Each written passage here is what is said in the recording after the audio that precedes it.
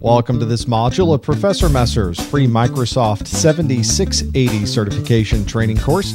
I'm James Messer. In this module, we're going to learn about migrating user profiles with the User State Migration tool.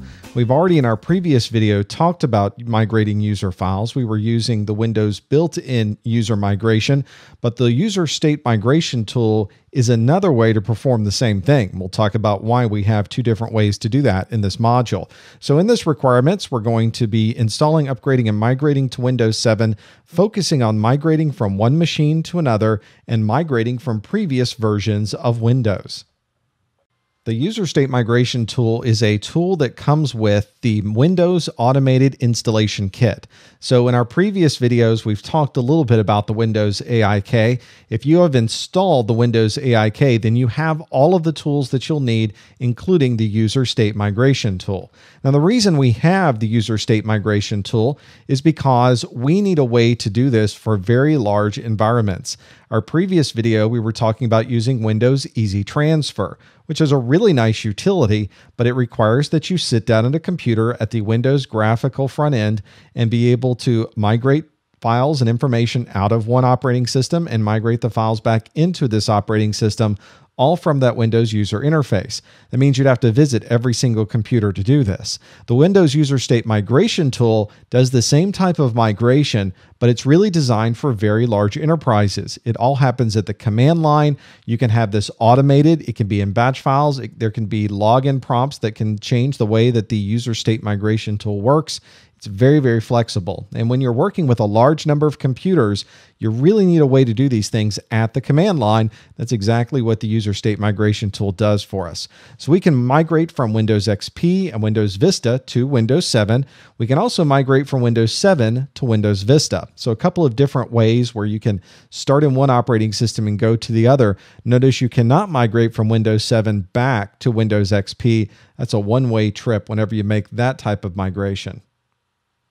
Using the user state migration tool is a two step process, very similar to what we were doing with the Windows Easy Transfer. We have one process where we save everything and get it ready for migration. We have a second process where we take what we've saved and actually migrate it to the new machine.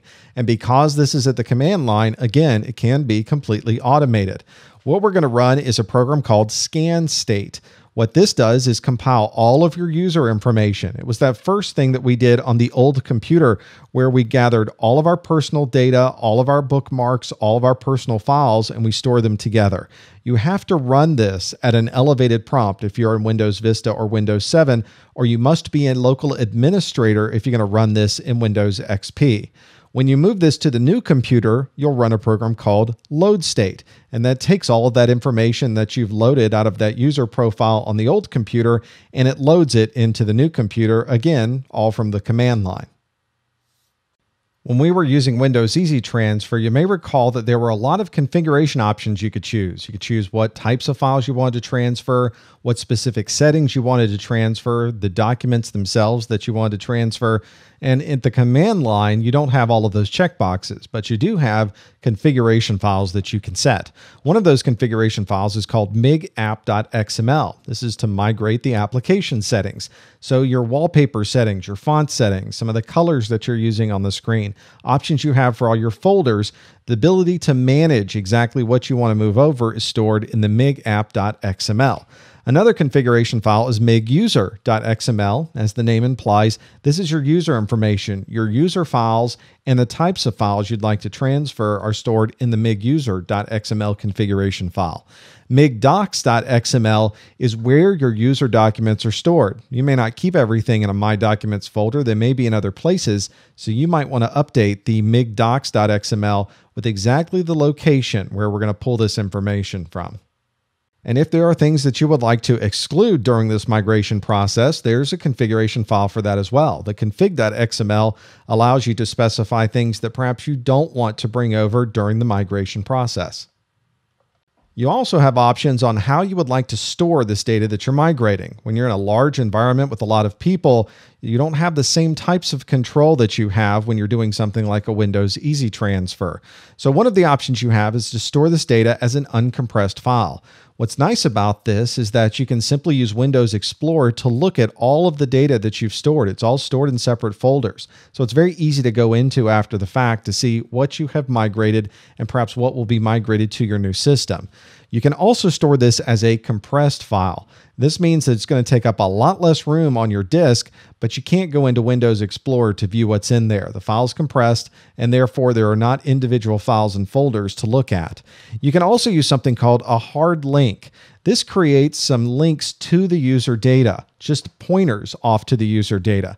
And when you do a wipe and load, the links still get followed. So it's a nifty little utility to be able to do that, but it does not also duplicate files on this system. So if you have a lot of files that are exactly the same in your migration, it can save you a little bit of time. You're not copying all those files, those duplicates of files off to a separate store. It simply has one pointer that points then to all of those separate files. Very nifty. At a very minimum, you're probably going to need 250 megabytes to transfer a single migration of a user's profile information. So you want to be sure you have a lot of disk space available, preferably something on a big store, a network setting, somewhere out where you've got a big flash drive, and you want to be sure that you're not going to be left with not enough room to copy this over. So make sure you've got at least 250 megabytes or more available on your storage device. The user state migration tool is one, as I mentioned, that comes with the Windows AIK. So I've taken all of the files and folders on the AIK and I've copied them off to my store, my network share that's out here on the Z drive for the user state migration tool. There are a lot of files and DLLs and, and INI files and INF files and XML files that come with this. And in fact, if you wanted to look at, for instance, um, your migdocs.xml. There is a migdocs in here where you can install and put in exactly what types of documents you would like to transfer over. So these are XML files. If you're going to change the configurations here, you need to be familiar with the format and how these work. There are a number of third-party non-Microsoft graphical front ends to some of these XML files, that's something you'll have to try on your own. Microsoft expects you to be able to edit these yourself. For the purposes of the certification, it's probably best if you know what these XML files do. You don't have to know a lot about the detailed customization of these. Let's run a scan state so we can move the, the information that's on our Windows XP system off to this Z drive. We'll, score, we'll store the information out there. I'll go down to my C drive and run it from there. I'm going to run scan state and I'm going to specify where I'm going to store this information. Let's store it in the root of our Z drive, and I'm going to call this my uh, migration data. And let's say that I had configured some files out of my Z drive with customized migration app XML. And let's say that I had also configured one for my migdocs.xml. So by special, specifying the slash i and then the location of that, you can also specify, yes, I'm going to use those XML files that I customized. And lastly, I'm going to use a slash O, which means if a scan state file of mig-data already exists out there, overwrite the file. I don't happen to have one there, but if you're doing this a lot and using the same named file, you'll find that it keeps adding to the existing migrated file. I want to be sure that doesn't happen. So I'm going to say create a new file every time. As ScanState begins the migration process, it's going to take a little bit of time to compile all of this data together and pull in the information. If you have a lot of information in your user uh, configuration, then it might take a lot of time. My particular user profile, pretty small, so you can see it only takes a little bit of time. Started the migration process, processed the store, found all the migration units for Professor Messer, found everything on this machine, gathered the data, and then it was done. And the scan state return code of zero means that everything worked properly. You can configure this in a batch file to say, if this comes back with something other than zero, I need to do something else on this machine or create a report of some kind. So out on the root of Z drive now, there's my MIG data directory. And inside that directory, if I type it properly, MIG data, there we go, you can see there is a USMT folder and in there is a migration file that contains everything from my profile. Now we need to go to our Windows 7 machine and load this information up with our load state command. We're now on our Windows 7 machine, and what we're going to run now is our load state command to load everything from the profiles that we've saved. I can choose here to also, let's do a, a net use, and I want to see I have out here a Y drive that goes out to that backups folder where I also have the load state program. Remember to run this that you must be at an elevated prompt. So I've started my CMD here, and you can confirm that by seeing the word administrator right there on your disk. So we'll choose Y colon, and I'm going to run load state, and I'm going to specify that the file that I would like to load is also out on Y, and it's called mig-data. That's the directory we stored it in. If you also wanted to create separate XML files for your app and your user and the data that you want to transfer in, you can absolutely do that. You don't have to transfer in everything that you saved out there.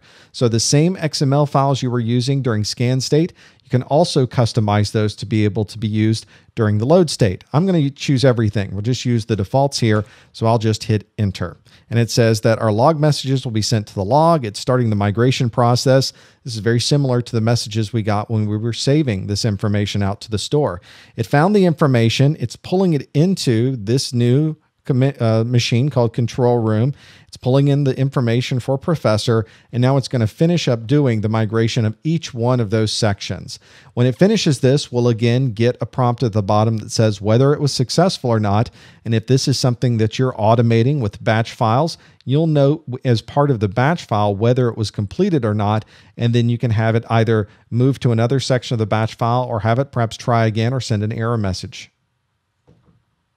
Let's see what we can remember about our user state migration tool. Our first question is where do you find the user state migration tool? Where can you grab these files and be able to use them? Well, of course, they're installed automatically along with the Windows Automated Installation Kit. So if you installed the Windows AIK, then you have also installed the User State Migration tool. Our next question is how do you define the configuration settings for the USMT? If you recall on the Windows Easy Transfer, we clicked some boxes. Well, the command line, we don't have that option, so we choose XML files there to manage our app, our user, and the data files that we're going to transfer.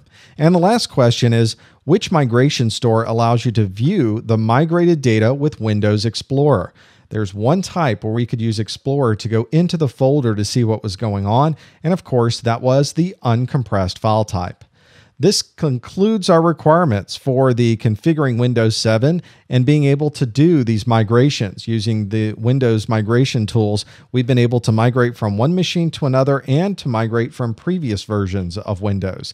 If you'd like to see any of our absolutely free Microsoft uh, con- if you'd like to see any of our absolutely free Microsoft certification videos, you'd like to participate in our message boards, or send me a message, you can visit our website at professormesser.com.